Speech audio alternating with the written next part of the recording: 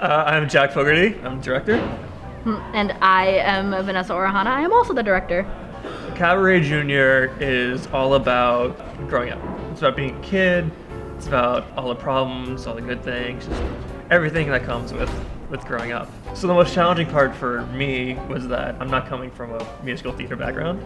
So having Vanessa here, who does have that musical background, that was a big help to me. I would say for the most challenging part for me has been, you know, normally I'm acting in a show, and so I'm kind of used to someone telling me where to go, what to do. For this one, I'm the one telling somebody where to go and what to do, and I didn't realize how hard that can be sometimes. Um, my name is Marissa Nunez and I'm the choreographer for Cabaret Junior. Most difficult song was definitely ABC. Um, when it's a Jackson 5 song, you really feel like you have to pay tribute to the movements that they did, so it was hard to come up with something that was both fun and childlike for the show. Pat White, the uh, rehearsal music director.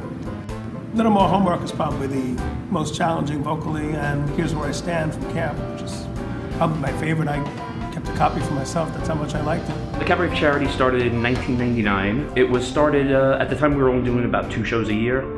And some of the students were thinking, you know, we could do some more.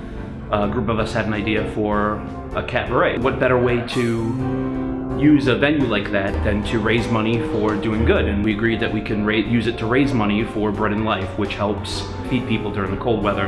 It's a great thing to do down on stage, and it's a great thing to do for the community, so it, it works out well.